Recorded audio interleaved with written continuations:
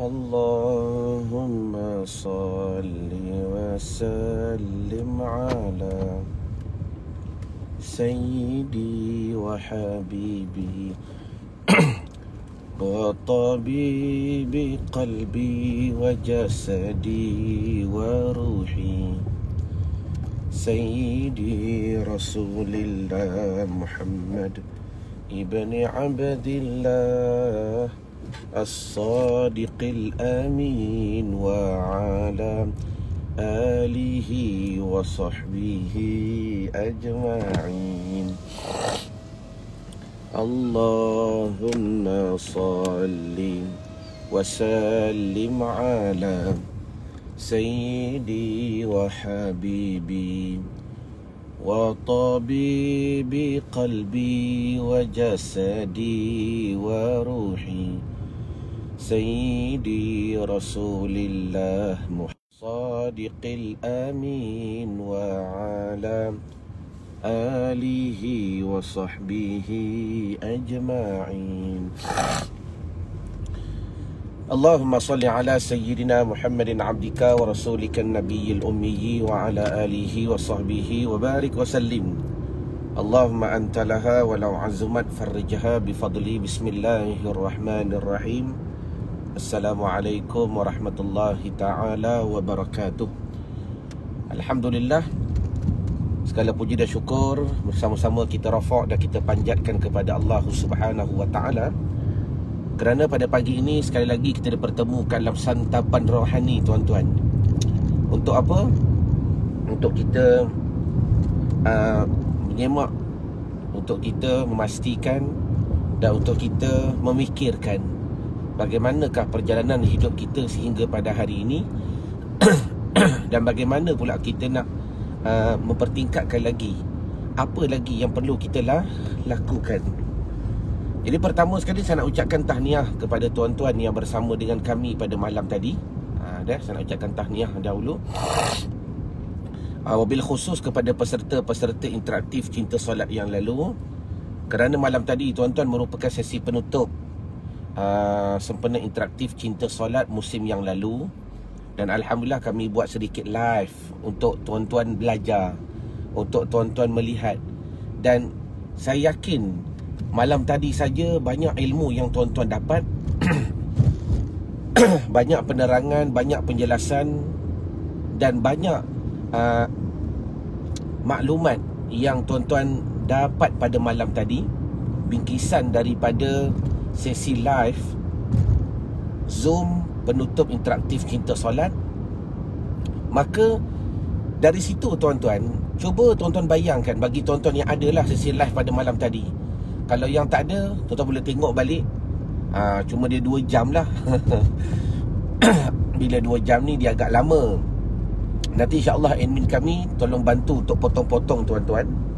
Ha, Cuma secara ringkasnya Pada malam tadi Apa yang saya nak buktikan ialah Apa yang saya nak sampaikan kepada tuan-tuan Sejauh mana khusyuk ni is real Sejauh mana khusyuk ini Suatu makam ataupun suatu martabat ataupun suatu matlamat ataupun suatu pencapaian yang sering dicari oleh uh, majoriti orang-orang solat yang di luar sana yang bila mana mereka tak tahu tekniknya, tak tahu caranya, tak tahu kaedahnya tuan-tuan, nescaya sampai umur 50, sampai umur 60 tuan-tuan, dah mereka masih lagi tidak merasai khusyuknya sah solat. Allahumma salli wa sallim wa barik alaihi wa ala alihi namun berbeza bila mana mereka dah bersama dalam dalam dalam uh, program-program yang kami sediakan alhamdulillah segala puji dan syukur kita rafak dan kita panjatkan kepada Allah Subhanahu wa taala di mana bagaimana tuan-tuan boleh mendengar secara live pada malam tadi uh, peserta-peserta kita menukilkan ayat-ayat yang penuh ikhlas daripada hati sanubari mereka berkenaan apa? Ya ustaz, memang khusyuk ni Israel. Eh? Apa kata tuan terus like dan share dan tag nama orang yang anda sayang pada pagi ini untuk kita menyebarkan lagi maklumat ini tuan-tuan. Kerana pentingnya khusyuk itu sebagai tanda kita berjaya. sebagaimana Allah Taala berfirman qad aflahal mu'minun alladzina hum fi salatihim khashi'un sekarang ni ayuh hari-hari kan kita di di di, di betul kita di diseru hayya 'alas salah hayya 'alal falah maka jelaskan seruan tu hayya 'alal falah jom kita bersama-sama menuju kepada kejayaan. Jom kita sama-sama menuju kepada kejayaan. Ayat tu dua kali diulang tuan-tuan. Dan tuan-tuan menjawab la haula wala quwwata illa billahil aliyil azim. Jadi artinya daripada ayat yang yang diseru kepada kita hayya ala salah jom kita bersama-sama menuju kepada kejayaan. Maka tak dapat tidak dari situ menggambarkan kepada kita pentingnya ber, berjaya. Maka pada pagi ini hmm, hmm, ya. Alhamdulillah. Okay jadi pada pagi ni saya nak bersembang dengan tuan sedikit. Ada? Berkenaan apakah ciri-ciri orang yang ber, berjaya. Sebab kadang-kadang bila sebut istilah berjaya itu ada kita nampak dari satu sudut sahaja iaitu zahiriyah. Tetapi kita tidak pernah menghitung pun bagaimana yang dikatakan berjaya dari sudut batiniyah. Dari sudut ba batiniyah. Dan semalam saya nak bawa sedikit tuan-tuan satu perumpamaan ataupun satu uh, maklumat yang kami uh, semalam yang saya kongsikan dalam program khatam kitab. Pada pagi ini saya nak bawa kepada tuan-tuan pula bagi tuan-tuan yang tak mengikuti program khatam kitab, belajar kitab sampai khatam. Pada pagi ini saya nak sharing satu ilmu berkenaan tulis tuan-tuan sebab di sini kalau tuan-tuan nak tahu berjaya ke tidak, ini antara salah satu kayu ukurnya. Terima kasih Nurilah Ismail. Ini merupakan salah satu kayu ukurnya. Kerana dia berkaitan dengan rohaniahnya kita, berkaitan dengan dirinya nya kita. Semalam dalam dalam kitab Harumah Rohani pada bicarakan beberapa hadis-hadis Nabi sallallahu alaihi wasallam tuan-tuan. Uh, semalam kita belajar berkenaan bagaimana gelap itu dia boleh kontrol diri kita. Ha, cuba tulis di ruangan komen. Dah, benda ni agak pelik bagi tuan-tuan yang tak pernah tafakur. Namun, cuba kita belajar tafakur. Saya nak buktikan ialah, betul ke kita dah berjaya? Betul kita dah merdeka? Ha, dah? Kerana dia berkaitan juga kemerdekaan. Betul kita dah berjaya pada hari ini? Kita berjaya dari sudut peperangan, Adakah kita dah berjaya dari sudut politik? Adakah kita dah berjaya dari sudut kepimpinan? Maka kayu dan nilainya ialah Allahumma salli wa sallim wa barik alaihi wa ala alihi. Adakah kita telah berjaya dalam menguasai diri kita sen sendiri? Sedangkan hidup kita ni tuan-tuan, uh, sila mak ngah yang tengah bekerja ahlan wa sahlan. Sedangkan hidup kita ni tuan-tuan masih lagi di apa? dikontrol oleh benda lain. Contoh paling mudah. Bila mana gelap. Ha, terima kasih Umi Hanim. Bagaimana gelap tu boleh kontrol diri kita. Kita cerita dulu kehidupan di luar. Salah kita masuk dekat dalam. Dah? Sepatutnya maklumat ini khas untuk peserta KK saja. Semalam mereka belajar dalam khatam kitab. Tapi tak apalah. Saya nak sampai kepada tuan-tuan hari ini untuk tuan-tuan muhasabah. Hari ini kita fikir, bagaimana kita berada dalam satu situasi yang begitu gelap. Waalaikumsalam Nur Zaliyah Abdullah. Dah, sekejap saja kita punya santapan rohani pada pagi ini. Saya nak ajak tuan berfikir bila mana kita berada dalam satu situasi yang begitu gelap. Gelap sangat. Gelap. Soalan yang pertama. Dah, adakah ketika itu pergerakan tuan-tuan terbatas atau tuan-tuan boleh buat apa jua pergerakan suka-suka hati? Jawab soalan yang pertama. Uh,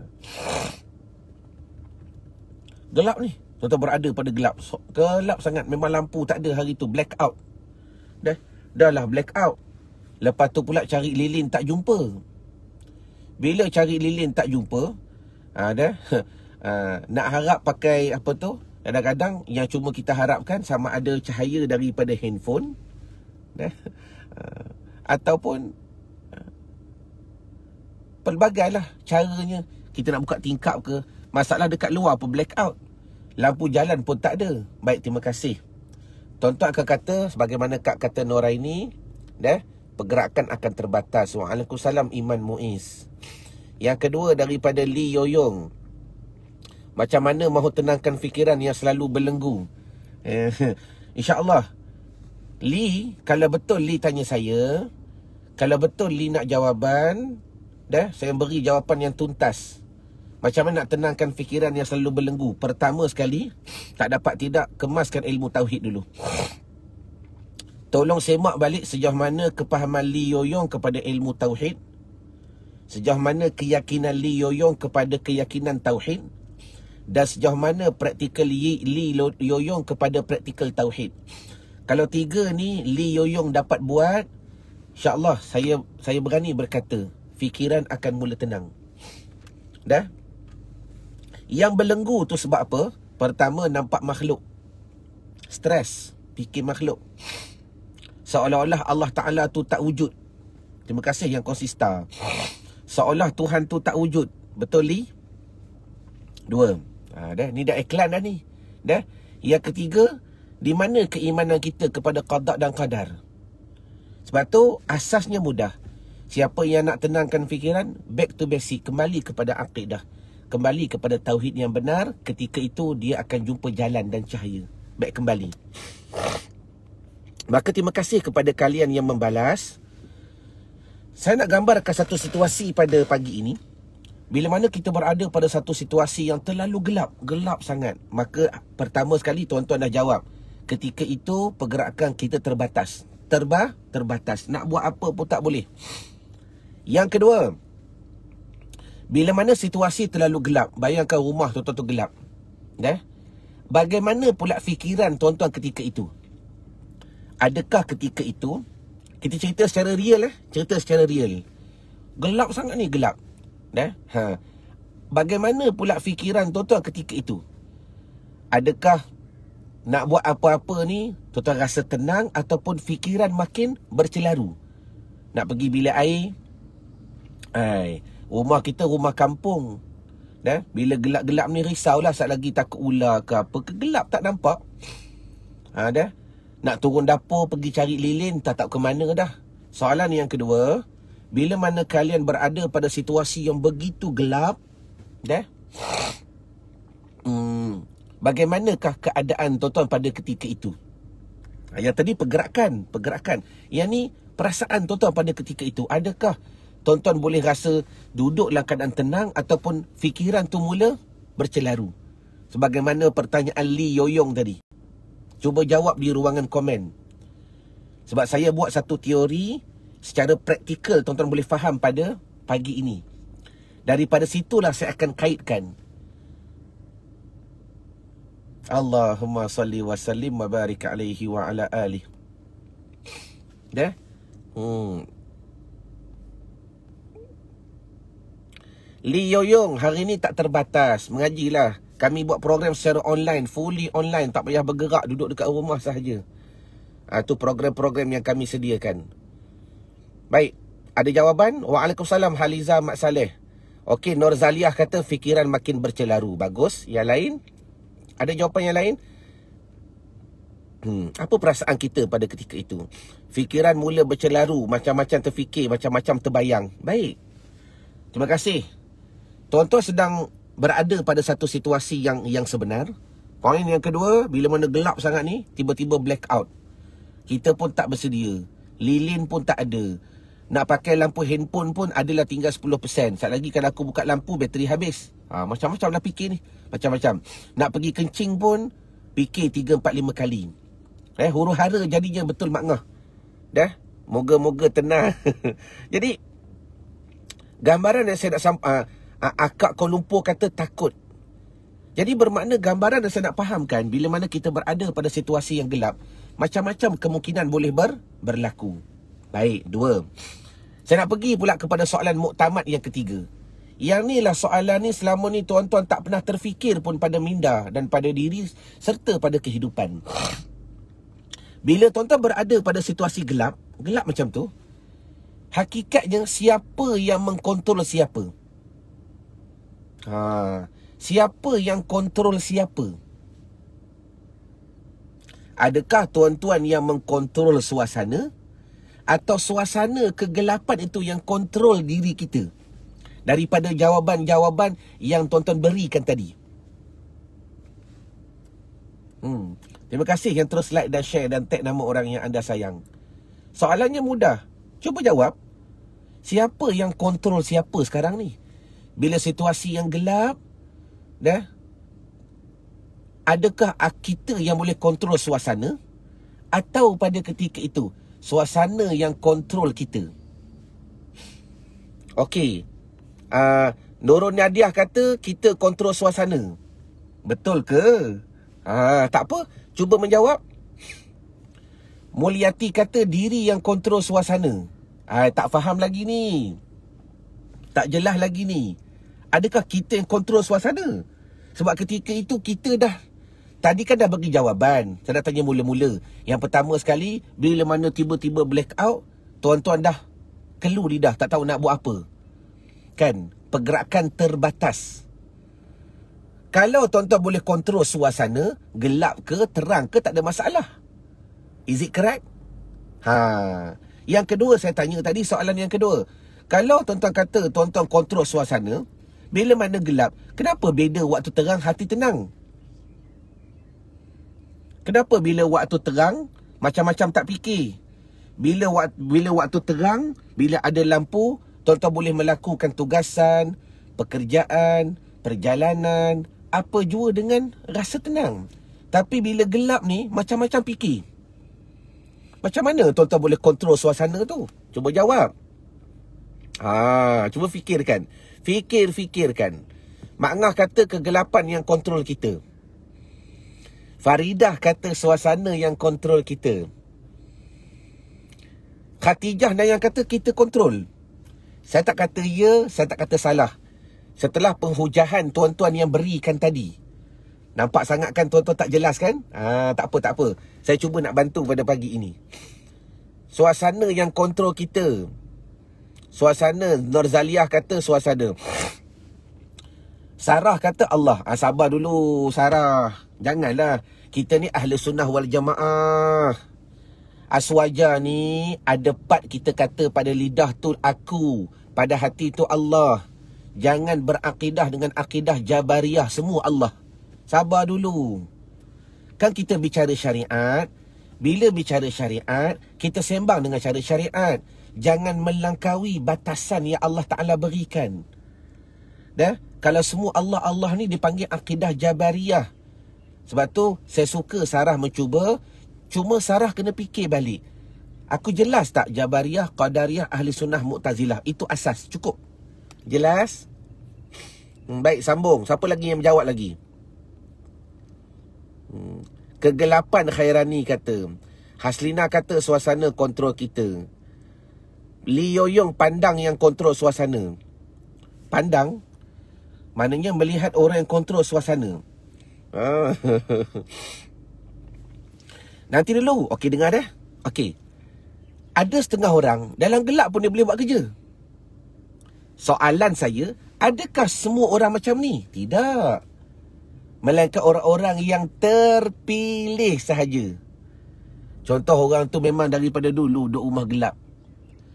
Tapi tanya balik pada awal, agak-agak tuan-tuan, mengganggu gegat, mengganggu gugat tak pergerakan di waktu gelap, waktu mula-mula dulu. Lepas tu Allah Ustaz dah biasa dah, dah biasa tegal biasa. Itu berbeza. Sekarang ni kita bercakap atas dasar realiti dahulu. Tuan-tuan biasa dengan hidup yang terang Tiba-tiba blackout gelap ha, dah. Suasana yang kontrol kita Nora ini Suasana gelap yang mengawal kita Baik Jawapannya kita kontrol diri kita sendiri Macam mana nak kontrol Haliza ha, Ni kata tak faham ni ha, Seronok seronok Macam mana kita kata kita kontrol diri kita Sedangkan kan tadi saya tanya ha, Boleh jadi saya baik sangka masa, masa lewat kot bila mana terang, tuan-tuan movement tuan-tuan boleh bergerak dengan baik. Bila gelap, semua terhenti. Betul? Jalan pegang dinding. Macam mana kita boleh kontrol diri kita? Cuba jawab. Pegang dinding. Takut jatuh. Dah takut terlanggar bendul. Takut tak jumpa pintu. Kan pergerakan kita automatik berubah. Ha, jadi gambaran saya nak bagi faham ialah bila berlaku gelap, tuan-tuan muhasabah balik. Sebab ini saya bagi satu contoh yang realiti. Tapi atas waktu yang pendek yang tuan-tuan perlu fikirkan. Nanti ada sehari semalam, tuan-tuan cuba muhasabah sampai petang nanti. Cuba berada dalam satu situasi yang begitu gelap. Tengok siapa kontrol siapa. Siapa yang kontrol siapa? Adakah kita yang kontrol kegelapan ataupun kegelapan yang kontrol kita? Jadi maknanya begini, yang saya nak bagi faham ialah kalau tuan-tuan tak sedar siapa yang kontrol siapa, itulah yang sedang berlaku pada hati tuan-tuan. Allahumma salli ala sayyidina wa maulana Muhammad. Itu je point yang saya nak kaitkan. Sebab bila sebut hati ni ada dalil yang telah disandarkan yang telah dikhabarkan oleh baginda Nabi sallallahu alaihi wasallam. Dan hadis sahih, banyak hadis yang Nabi kata bila mana kita melakukan sesuatu maksiat, sesuatu kejahatan, sesuatu perkara yang tak baik, akan tercaliklah hati hitam. hati ni bila dah banyak hitam, bila dah banyak hitam, hitam hitam calik sikit sikit sikit sikit sikit sikit sikit. Lama-lama banyak dah hitam pada hatinya kita. Tuan-tuan ini ah, kunci yang saya nak kaitkan dengan cerita tadi. Dah? Tuan-tuan dah jawab dengan jawapan yang betul. Cuma tuan-tuan tak muhasabah dengan lebih mendalam. Cuba realkan benda ni. Tuan-tuan berada pada satu suasana yang begitu gelap yang tuan-tuan tak nak. Kalau prepare lain prepare cerita lain. Dah tahu dah akan lagi gelap Dah mindset semua dah prepare. Yang ni tidak. Tiba-tiba je black out. Satu syak alam black out. Dah. Kita pula duduk dalam rumah seorang-seorang. Suami tak ada. Dekat masjid. Masalan. Ha, tak apalah lagi abang balik lah ni. Black out. Kita menggagau nak cari lilin. menggagau nak cari telefon. Nak, nak, nak, nak lampu. Saya nak bayangkan ketika itu. Tuan-tuan akan hidup dalam keadaan. Tak tenteram. Hidup dalam keadaan. Dikongkong oleh kegelapan, kegelapan yang yang yang kontrol pergerakan tuan-tuan. Nak buat tu tak boleh, nak buat di tak boleh. Semua, dah. Itulah gambaran tuan-tuan hati. Bila hati itu gelap, tuan-tuan tak sedar, tuan-tuan dikontrol oleh hati yang gelap.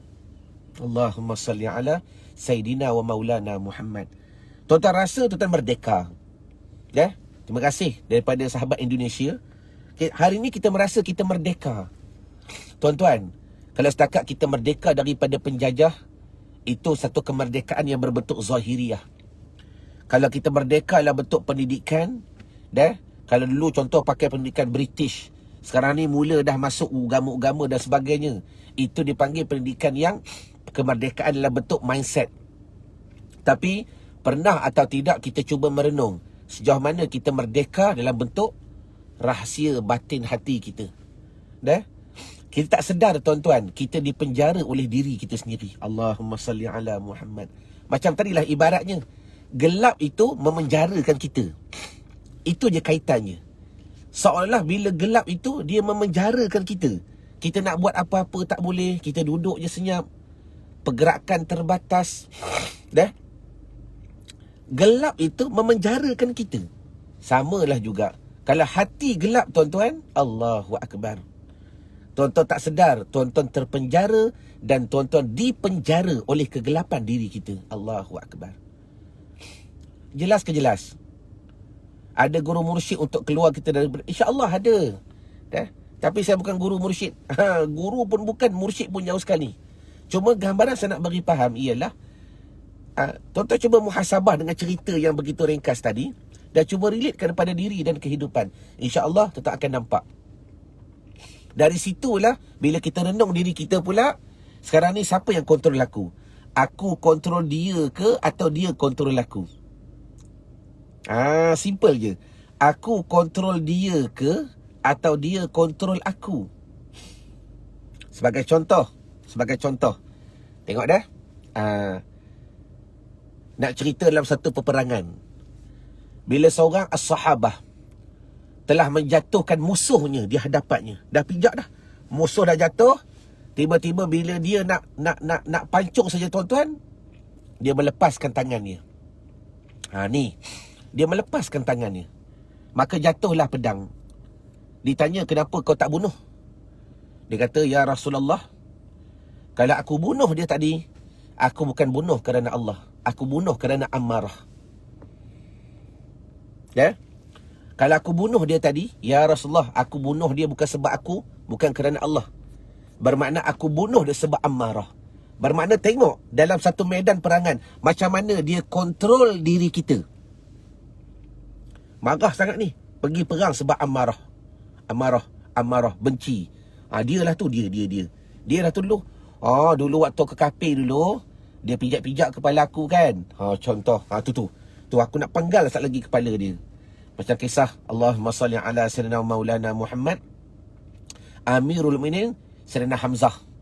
Pak saudara Nabi sallallahu alaihi wasallam. macam-macam sejarah yang begitu tragis tuan-tuan. Dia belahnya hati Amirul Mukminin Sayyidina Hamzah oleh Hindun dah di mamahnya dan sebagainya masalan kalau ketika itulah berlaku lagi perangan aku nak bunuh Hindun sebab apa aku benci sangat ke dia benci sangat ke dia dah? Aku nak penggal kepala dia. Aku nak mamah hati dia. Kalau sebab amarah tuan-tuan dia tak sedar. Dah? Bukan dia yang kontrol hati dia nafsu dia sedang kontrol diri dia. Dah? Sebab kita sebenarnya Tuan-tuan je pada hakikatnya Tuan-tuan ingat tuan-tuan berada dalam keadaan terang nyata. Tapi Kalau kita merujuk kepada hati Kita tak sedar Kita sedang berada dalam satu kegelapan yang begitu gelap. Allahumma salli wa sallim Wa barik alaihi wa ala alih ha, Sebab tu pentingnya mengenali hati ni tuan-tuan Berlaku juga satu hadis Nak cerita Siapa kontrol siapa dah? Dan ini mujahadah yang begitu besar tuan-tuan Hmm. Baik. Suatu hari bila sahabat-sahabat baru balik daripada perangan bersama Nabi wasallam tengah-tengah balik tak sampai rumah lagi. Tak sampai Madinah lagi. Dah baru nak sampai nak nak balik dah nak sampai dah ni. Maka bersabda boleh Nabi, "Wahai para-para sahabat, kita baru balik kepada satu perangan untuk menuju kepada perangan yang lebih besar. Oh, sudah. Sahabat Nabi ni. Eh, ya Rasulullah. Ah, ni bahasa saya lah. Letih berperang tak habis lagi ni. Belum jumpa anak bini lagi. Allahumma salli wa sallim wa barik alaihi wa ala alih. Belum jumpa anak bini lagi. Belum peluk cium anak bini lagi. Tiba-tiba dapat perkhabaran nak pergi perang dah. Nabi bersabda ni. kita baru balik daripada satu perangan yang yang kecil kepada satu perangan yang besar. Eh? Nak pergi perang lagi. Maka sahabat bertanya lah, apakah perangan itu? Nak perang dekat mana lagi ni? Maka berkata oleh Nabi SAW, peperangan nafsu. Eh? Afdalul jihadi an tujahida nafsaka wa hawaka. Seafdal afdal jihad pada hidup kamu. Walaupun kita dah pergi berjihad, pergi perang dah. Bila balik, Nabi kata, kita balik daripada satu perangan yang kecil kepada satu perangan yang besar. Apa perangan yang besar itu? Afdalul jihadi an tujahida nafsaka wa hawaka. Iaitu berjihad dengan diri kamu, diri kamu, diri kamu. Diri yang mana? Ah, dah. Wa hawaka dan hawa nafsu kamu. Sebab tu hari ni saya buat satu teori yang simple untuk kita mula-mula fikirkan, untuk kita mula muhasabah tuan-tuan. Adakah aku sebenarnya hidup dalam keadaan keterangan yang nyata ataupun aku berada dalam satu kegelapan? Dan jangan biarkan kegelapan itu merosakkan diri kita tuan-tuan. Mudah saja. Tuan-tuan, gelap ni bila hati gelap, tuan-tuan tak sedar, hati itu kontrol diri kita walaupun tuan-tuan berada pada satu suasana terang yang nyata, terang tapi kita hakikatnya gelap. Gelap. Ya? Dalam program ICS nanti saya akan buktikan satu, dua, tiga, empat, lima. Sejauh mana hati kita ni terang gelap. Secara teori, secara praktikal, dah. Kalau tengok live malam tadi berapa ramai yang telah menyatakan keseronokan, haibah apa yang Allah Taala anugerahkan kepada mereka bukan sebab saya. Saya ni khadam yang membantu sahaja. Bagaimana penceritaan mereka tuan-tuan Seronoknya mereka mencapai khusyuk dan sebagainya Semua ni benda yang boleh capai Dengan syarat sikit je Tuan-tuan Kita cerita bak gelap tadi Ambil satu torchlight, buka je. Tuan-tuan jawab akhir kalam. Dah, kan kita cerita yang mula-mula tadi. Ha, siapa yang masuk lewat, dia tak faham dah cerita daripada awal. Dah, tengok daripada awal, kalian akan faham balik. Tak lama setengah jam saja. Bila berada pada situasi yang yang mula-mula tadi yang kita sembang tadi, lepas tu jumpa torchlight, tekan torchlight, ting, saya berani garanti tuan-tuan insya-Allah. Torchlight itu torchlight itu walaupun cahayanya tidaklah menyeluruh dah tetapi dengan satu petikan saja dia akan mengubah segala tanggapan tuan-tuan. Akan mengubah pendirian tuan-tuan. Akan mengubah diri tuan-tuan. Akan mengubah persepsi tuan-tuan. Akan mengubah ketakutan tuan-tuan yang tadi takut sangat. Sebab gelap tu kontrol aku. Buktinya kenapa saya kata gelap kontrol kita? Kan tuan-tuan tak boleh buat apa-apa nak bergerak pun susah, nak berjalan pun susah. Dalam keadaan ketakutan dan sebagainya. Berjalan pegang dinding. Dah? Ha, dah macam orang buta dah. Pegang dinding. Tu macam orang buta. Kan? Ha, mana mana pintu ni, mana pintu pegang. Gelap sangat. Bila dapat je satu torchlight. Tuan-tuan, cuba jawab dia dengan komen. Satu petikan. Klik. Allah. Dia menghilangkan segala keresahan. Dia menghilangkan segala ketakutan. Dia menghilangkan segala was-was pada hati. Dia menghilangkan kepada hati yang dikatakan, oh, tadi kau kontrol aku eh. Allahumma salli wa sallim wa barik alaih. InsyaAllah Syarifah Sa'ad, dah kita tawasul dengan keberkatan, dengan kemuliaan uh, program Santapan Rohani pada pagi ini. Maka insyaAllah kepada sahabat-sahabat kita, guru-guru kita, Ya Allah Ta'ala uji dengan COVID, insyaAllah Allah masyfihim, dah, Mudahan Allah Ta'ala sembuhkan mereka. Mudahan Allah Ta'ala beri kekuatan kepada mereka. Dan Allah Ta'ala bantu mereka. Dan yang paling penting, Allah Ta'ala tak akan buat sesuatu dengan sia-sia. Amin ya Rabbal Alamin. Allah Ta'ala tak akan buat sesuatu dengan sia-sia. Jelas? Jadi kembali kepada tadi. Betul. Dah? Sekarang ni tuan-tuan mudah saja. Konsepnya kembali kepada apa yang saya nak sampaikan. Bagilah sikit cahaya dekat hati. Bagilah sedikit cahaya dekat hati. Walaupun seumpama cahaya torchlight. InsyaAllah Bila hati itu mula bercahaya Tetap akan melihat perubahan yang nyata.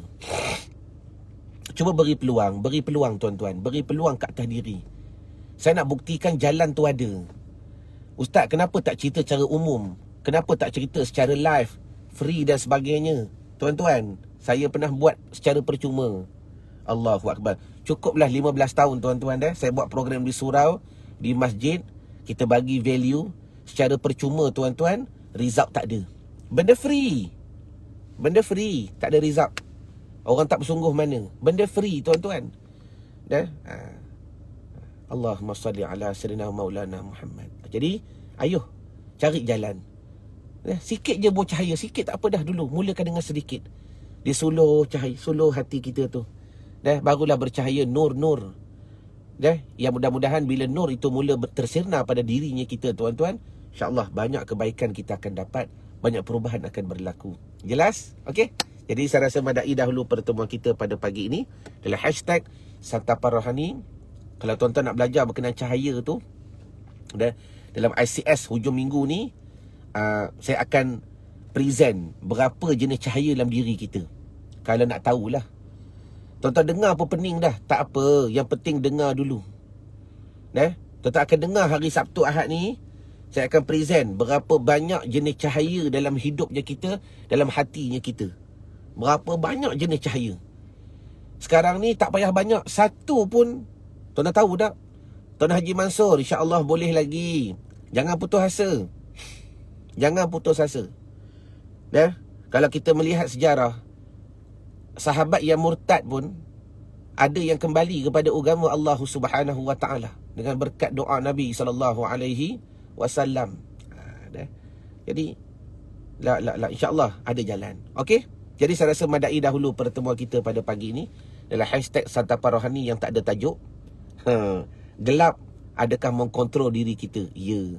Sama juga hati yang gelap sebenarnya hati itu kontrol diri kita tuan-tuan dah kontrol diri kita insyaallah uh, saya rindu nak bertemu dengan tuan-tuan dalam program interaktif cinta solat pada hari Sabtu Ahad ini kalau tuan-tuan nak tahu penerangan berkenaan cahaya ha, Tengok nanti saya bentangkan Dah, Tengok berapa banyak cahaya Yang boleh kita sirnakan dalam hidup dirinya kita yang selama ni tuan-tuan tak pernah tahu berkenaan nur-nur ni. Ni nur apa, ni nur apa, ni nur apa. Ya? Yang tahu Nur Haliza je. ha, Siti Nur Haliza. Yang tu tahulah. Ha, dia Siti Nur Diana. Ha, tahu. Ha, tapi yang nur-nur berada pada dirinya kita kadang-kadang kita tak tak tahu. Belajarlah berkenaan nur ini. Jelas? Ma'assalamah liqa. Assalamualaikum warahmatullahi wabarakatuh. Wallahu a'lam.